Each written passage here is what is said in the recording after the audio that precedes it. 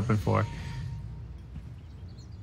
Well, But Queen of Pain, Abed's like, no, no, you can't, you can't get your hands on this one, iceiceice.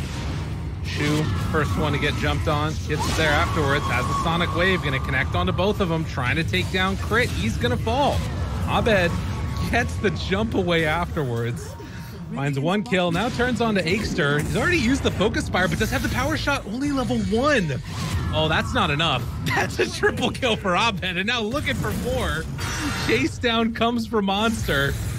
Oh man, Queen of Pain ready to go in for more as does have another Scream of Pain in a moment. Do they give him the kill? Yes, the Ultra going the way of Abed, and he's still looking for more. Give him Lies the is over here.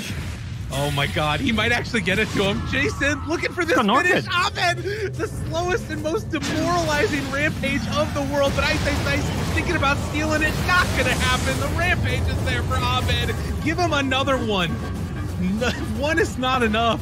The blink in, chase down. Can they get get some time? Doesn't quite look like it.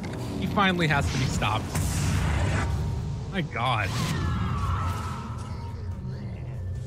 Yeah, I think that's why he has the fairy's trinket, not Timbersaw.